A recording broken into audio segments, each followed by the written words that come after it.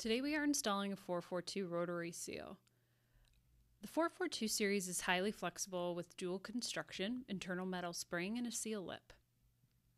Shown here is our housing. Place the seal with spring facing down into housing. Shown here is the undercut and the machine cage.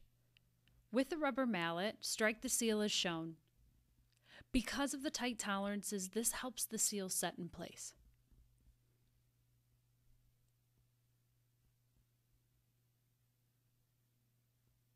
When completed, you will see the seal seated flush with the housing.